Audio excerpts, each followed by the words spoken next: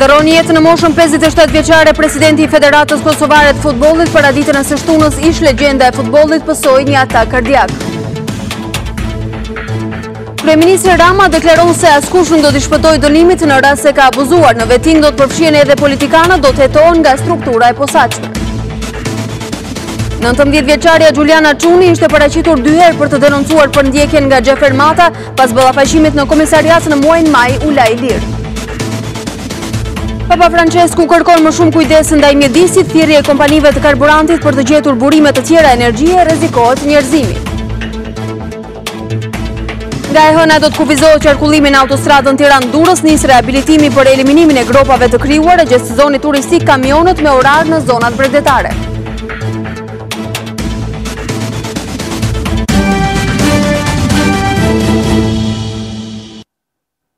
Të nderuar shikues mirëmbrëma, mirë se vini në edicionin qendror të lajmeve këtu në ekranin e Ora News.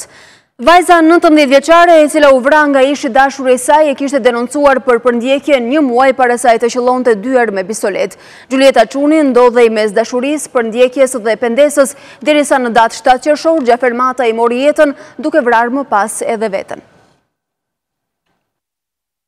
Xhuljeta Çuni, vajza nëntëmbëdhjetë vjeçare që u qëllua për vdekje nga ish i dashuri i saj, ishte paraqitur dy herë në polici për të denoncuar përndjekjen nga Xhafer Mata, por vetëm një muaj para se të vritej, ajo kishte firmosur kallëzimin. Në këtë njoftim zyrtar të Policisë së Shtetit, që mban datën shtatë maj dy mijë e tetëmbëdhjetë, bëhet me dije se materialet procedurale i kaluan Prokurorisë së Tiranës për veprën penale të përndjekjes. Burimet policore thanë për Ora News se maturantja Çuni, pasi kishte bërë kallëzimin penal, kishte shfaqur shenja pendese duke pyetur nëse mund të arrihej në një zgjidhje paqësore të situatës së krijuar pas marrëdhënies së tyre disavjeçare.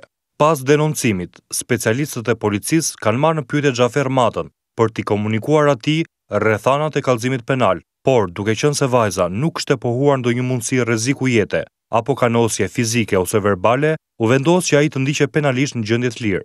Çuni dhe Mata mësohet se janë ballafaquar po ashtu edhe në Prokurorinë e Tiranës. Denoncimi i parë prej së resë është bërë që në shkurt të këtij viti, kur vajza ishte paraqitur në polici për të kallëzuar Matën, por nuk e ka firmosur dokumentin. Këtë të shtunë, trupat e pajetë të tyre u përcollën për në banesën e fundit, ndërsa policia ka marrë masa për të mbrojtur familjet, të cilat banojnë vetëm pesëqind metra larg në Don Bosko, për të parandaluar kështu një hakmarrje të mundshme.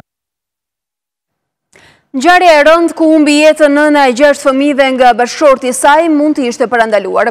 Ajo e kishte denoncuar disa herë bashkëshortin për dhunë ndaj saj, por edhe fëmijëve, por pasi shoqërohej për disa orë në polici, ai kthehej në shtëpi dhe vazhdonte sërish avazin e vjetër të dhunës. Viktima e dhunonte dhe nuk e lejonte as të shkonte në punë. Ngjarja e rëndë në Durrës, ku humbi jetën nëna e gjashtë fëmijëve si pasojë e dhunës nga bashkëshorti, mund të ishte parandaluar. Ardiana Shaholli e kishte denoncuar disa herë bashkëshortin për dhunë ndaj saj dhe fëmijëve, por pasi shoqërohej për disa orë në polici, Ai kthehej në shtëpi, duke u kthyer në makthin e familjes së tij. E tillë ishte dhe mbrëmja e së premtes, ku pas një konflikti banal, Çlirim Shaholli ka dhunuar me mjete të forta bashkëshorten, duke i marrë asaj jetën. Pasi tërhoqën trupin nga morgu, të afërmit hapën dyert e mortit, ku kanë pritur për ngushëllime familjarë dhe të njohur të bashkëshortëve Shaholli, autorin e vrasjes, thonë se e njohin si një person të dhunshëm, dhe që shpesh ishte nën ndikimin e alkoolit, ndërsa sipas tyre e ndjera, edhe pse dhunohej, nuk e shprehte shqetësimin tek të afërmit. E çonin në polici, e mbanin disa orë dhe e largonin prapë dhe e kthenin në shtëpi.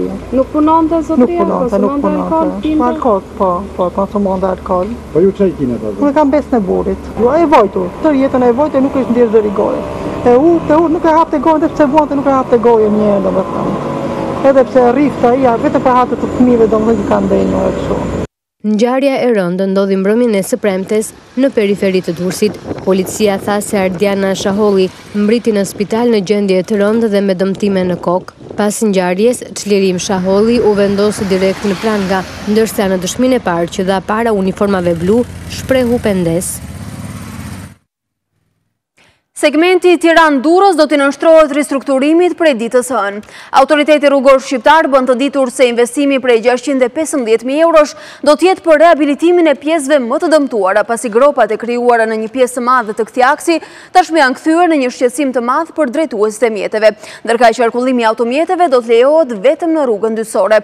Po ashtu bëhet e ditur se punimet do të përfundojnë brenda muajit qershor për të mos penguar qarkullimin gjatë dy muajve të nxehtë, të cilat janë edhe piku i turizmit.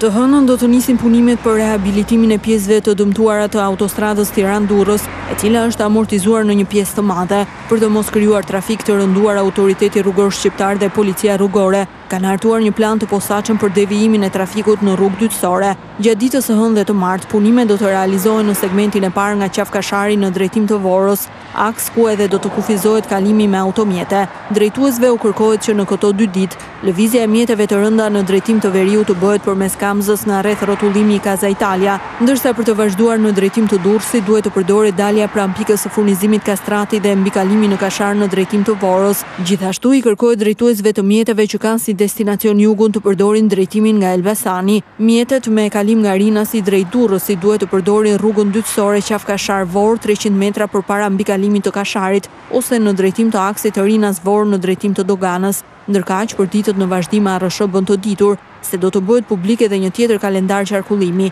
Kostoja e rehabilitimit është gjashtëqind e pesëmbëdhjetë mijë euro dhe do të mbulohet nga fondet emergjente të Bankës Botërore për Mirëmbajtjen e Rrugëve. Gjithsej, parashikohet të riparohet një sipërfaqe prej tridhjetë e një mijë metrash katrorë, ku bëhet fjalë për mbushjen e gropave të cilat janë kthyer në një shqetësim për drejtuesit e automjeteve. Kjo do të jetë vetëm faza e parë e ndërhyrjes. ARSH bën të ditur se për një ndërhyrje të plotë po punohet së bashku me qeverinë. Për të gjetur fondin i cili mund të shkojë në njëmbëdhjetë milionë euro.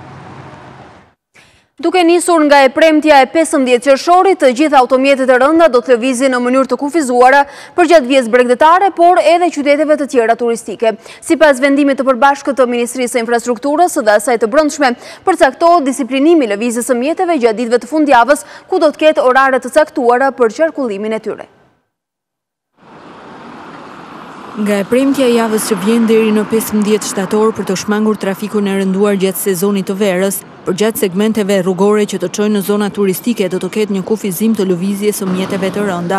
Në këtë kuadër, Ministria e Infrastrukturës dhe Energjisë, si dhe Ministria e Brendshme kanë nxjerrë udhëzimin e përbashkët për disiplinimin e lëvizjes së mjeteve të rënda në fundjavat e periudhës 15 qershor deri në 15 shtator. Kufizimi i qarkullimit të mjeteve të rënda do të bëhet kryesisht gjatë fundjavës pasi edhe fluksi i pushuesve përgjatë bregdetit është më i lartë, duke shkaktuar shpeshherë dhe bllokim të segmenteve rrugore. Llojet e automjeteve që do të ndalohen të qarkullojnë gjatë fundjavës janë mjetet e transportit të mallrave me peshë të përgjithshme mbi shtatë pikë pesë tonë, mjetet me një gjatësi më të madhe se dymbëdhjetë metra, automjetet rrugore apo bujqësore që kanë shpejtësi më të vogël se dyzet kilometra në orë, si dhe kursantët e autoshkollave. Kufizimet e shtrinë efektin për ditët e premte nga ora pesëmbëdhjetë deri në orën njëzet e dy, të shtunën nga ora tetë deri në dymbëdhjetë dhe gjashtëmbëdhjetë deri në njëzet e dy, si dhe për ditën e diel nga ora shtatë deri në njëzet e dy. Janë dymbëdhjetë qytete ku do të kufizohet qarkullimi i automjeteve të rënda, midis të cilave Shkodra, Lezha, Tirana, Elbasani, Durrësi, Kavaja, Fieri, Vlora, Saranda, Pogradeci, Tepelena dhe Bajram Curri. Kryeministri Edi Rama është ndalur gjatë së shtunës në Lushnje për turin e llogaridhënies nga ku tha se vetingu nuk do të falë asnjë gjyqtar e prokuror të korruptuar duke nënkuptuar që edhe pas daljes nga sistemi do të ketë hapa të tjerë duke nënkuptuar dërgim për procedim penal. Ndërsa Rama fliste për vende pune në teatrin Vaçe Zela, jashtë tij ka pasur edhe një grup mbështetësish të Partisë Demokratike, të cilët kanë kërkuar të bëhen pjesë e këtij bashkëbisedimi, ndërsa mbanin në duar dhe pankarta proteste. Kryeministri Edi Rama është ndalur gjatë së shtunës në Lushnje për turin e llogaridhënies Nga ku paralajmëroi se bërja e vetingut në radhët e drejtësisë nuk do të mjaftohet vetëm me daljen nga sistemi, por edhe me ndjekjen penale. Edhe pse nuk e ka artikuluar kreu i qeverisë ka lënë të kuptohet se kjo do të ndodhë, duke thënë se dardha e ka bishtin prapa. përjashtohen nga sistemi sepse nuk arrijnë dot të justifikojnë pasurinë e tyre. Këtu ka një gjë për të shtuar që shumëkush mendon se Historia mbaron këtu dhe ata që kanë pasuri të pajustifikuara thjesht hiqen nga puna. Po në fakt është realisht rasti për të kujtuar shprehjen e popullit që dardha e ka bishtin mbrapa sepse sistemi i pastruar i drejtësisë presupozohet se do të merret me të gjithë pa përjashtim, politikanë, gjykatës, prokurorë, biznesmenë, Kushdo qoftë, si të barabartë përpara përpara ligjit. Duke folur edhe në Lushnje për punësimin, kryeministri kujtoi se deri në fund të këtij viti do të ketë njëzet e pesë mijë persona të punësuar, ndërsa bëri apel që të denoncohen të gjithë punonjësit e administratës që abuzojnë me detyrën. Kemi krijuar në tre muajt e fundit më shumë se dhjetë mijë, dhjetë mijë, mundësi që janë pranuar apo janë shfrytëzuar nga njerëzit dhe sot kemi vetëm nga zyrat e punës më shumë se dhjetë mijë të punësuar. Qëllimi është që deri në fund të vitit të kemi njëzet e pesë mijë. Por turi i llogaridhënies së kryeministrit Edi Rama është pritur me protesta nga qytetarët lushnjarë. Jam gati. Unë do vete aty, të takoj kryeministrin, dhe kërkoj llogari për hesapet e mia. Takosh këdo, jo. Po s'pam gati më çudni. Protestuesit, por edhe vetë Selia Blu pretendojnë se situata është tensionuar, pasi qytetarët kanë kërkuar të marrin pjesë në aktivitet, por nuk janë lejuar nga ana e policisë.